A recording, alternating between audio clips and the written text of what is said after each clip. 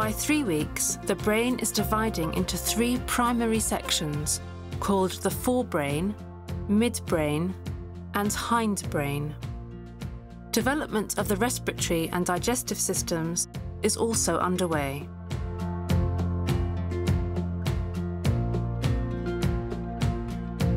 The heart begins beating three weeks and one day following fertilization.